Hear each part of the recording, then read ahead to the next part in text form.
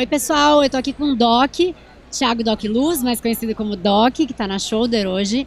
É, e ele acabou de sair de um debate super bacana com um monte de gente de peso, falando aí sobre moda e sobre consumo, sobre o novo consumidor que vai, vai ser cliente de moda hoje, que, como disse a Glória, está com a faca e o queijo na mão, né? Então, Doc, queria saber um pouquinho da sua opinião. Hoje, quando a gente fala para o marqueteiro digital, o que, que ele precisa ter em mente quando diz respeito ao consumidor conectado? Ah, foi o que a Glorinha falou, né? Glorinha, né? Fiquei íntima. Foi o que a Glorinha Calil falou. Ele é mimado, né? A gente tem de entender que. E cada vez mais isso começou a acontecer com todas as mídias sociais que a gente tem: Twitter, Facebook, Instagram a gente tem de ouvir ele. Não, sempre que eu estava no digital, eu sempre falava, a gente tem de ouvir, não é aquilo que a gente pensa, não é aquilo que a marca quer fazer, é aquilo que o consumidor passa, né? E na moda é isso, né? Você tem de pensar, eu falo sempre isso, do mesmo jeito que o Facebook está para o mundo, o Instagram está para a moda. E o Instagram digita muito aquilo que vai acontecer na moda. Então, por exemplo, você tem, tem um. Isso é um case fantástico. Quando a Kim Kardashian foi assaltada lá é, na França, em Paris, na hora que ela sai, meio que correndo do hotel, cara, ela sai com os ombros à mostra, com uma bota e tudo mais. Se você parar pra pensar, essa foto se tornou tendência e daquele momento em diante um monte de, sabe, de, de, de moda foi feita em cima dessa tendência que ela criou no momento, entre aspas, de desespero, fugindo por causa que as, as joias dela foram roubadas. Então olha que mudança que é, né? E a Glorinha Calil falou, antigamente você tinha a alta costura, para porter, né? e daí você mudou. É, isso é legal. Por que é legal? Porque é mais fácil acompanhar. É mais fácil você saber o que vai acontecer. É, o Instagram é um ótimo é, e fantástico. Eu acho que é o melhor termômetro que você tem para saber em que direção a moda está indo.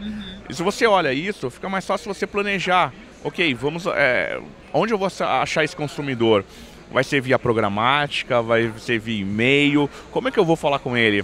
É, eu acredito que não. Assim, se você vai fazer qualquer pro, qualquer tipo de publicidade, você não está usando o teu CRM, você está muito ultrapassado.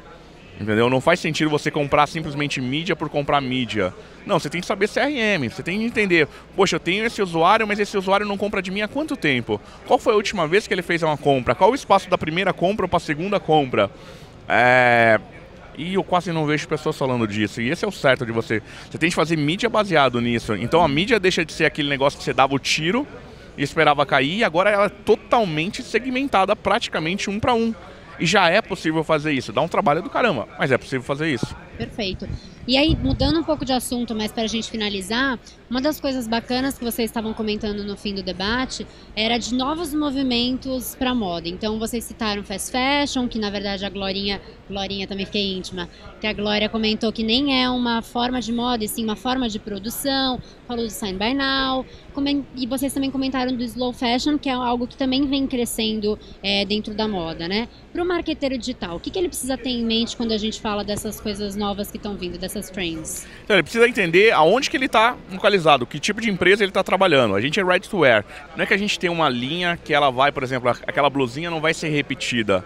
A gente não tem isso, mas o nosso tempo de produção é mais longo, né? A gente já está começando a trabalhar no verão, a gente está começando a trabalhar no março de 2018, para você ter uma ideia. Uhum. A gente já sabe o que está sendo produzido, então isso já está acontecendo na fábrica.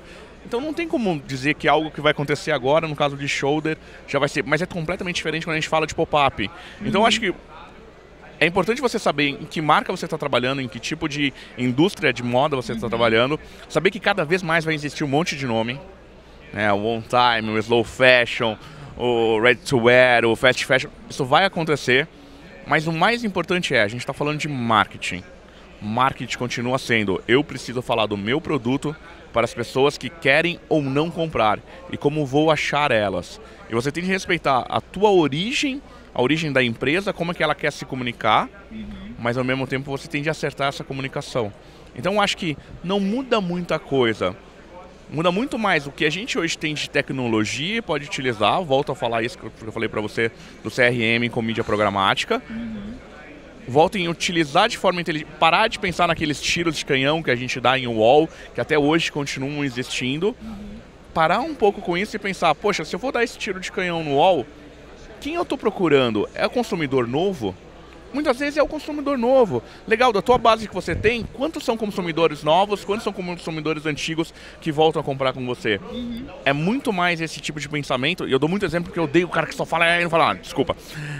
É muito mais esse pensamento de entender de verdade o que você está trazendo como resultado do que simplesmente fazer porque está disponível fazer. A gente um pouco já... mais de planejamento estratégico do que é automático. Exato. A gente já está num mercado que é muito mais difícil que o mercado americano. O mercado americano, se você perceber, você tem várias grandes empresas, então você tem vários grandes portais. No Brasil a gente tem quem? O UOL, o Terra Faleceu e a Globo. Então, se você for pensar de portais que você pode fazer alguma coisa, você tem poucos. Não tem como comparar com o absurdo de número de portais que eles têm lá. Também não tem como comparar que a gente não tem a Amazon.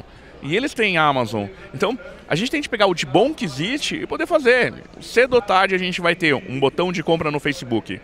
Cedo ou tarde a gente vai ter um botão de compra no Instagram. Cedo ou tarde a gente vai ter a Amazon. O que, que a gente está fazendo daqui até lá? Perfeito. Doc, obrigada pelo ah, tempo, nada. pela entrevista. E a gente continua, pessoal. É isso aí.